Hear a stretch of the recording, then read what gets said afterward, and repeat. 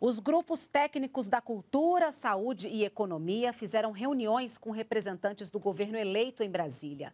O ministro Paulo Guedes foi um dos participantes.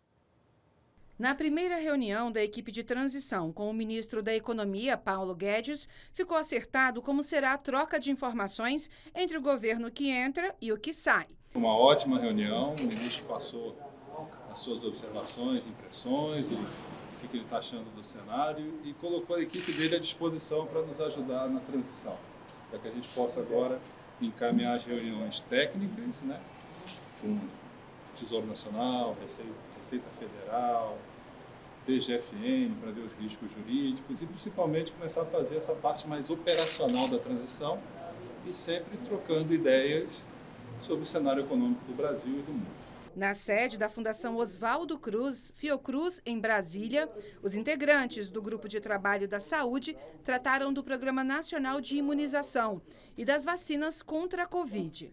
O presidente eleito Luiz Inácio Lula da Silva participou do encontro por videoconferência. É claro que haverá uma prioridade para a vacinação das crianças, como foi dito, inclusive, com forte utilização da rede escolar, calendário vacinal, utilização de matrícula, condicionalidade para o Bolsa Família e outras medidas que serão tomadas para poder levar essa cobertura vacinal. Já no grupo de trabalho da cultura, as discussões giraram em torno de como adequar o orçamento às necessidades do setor. A equipe defende o pagamento dos recursos previstos na Lei Paulo Gustavo ainda este ano. A lei destina 3 bilhões e 800 milhões de reais a estados e municípios. A ideia é apoiar atividades culturais e assim amenizar os prejuízos econômicos causados pela pandemia do coronavírus. A lei Paulo Gustavo tem validade até o fim de dezembro. Nós temos que ter dois passos aí. A primeira é prorrogar a lei para 2023. Nós estamos trabalhando a sua prorrogação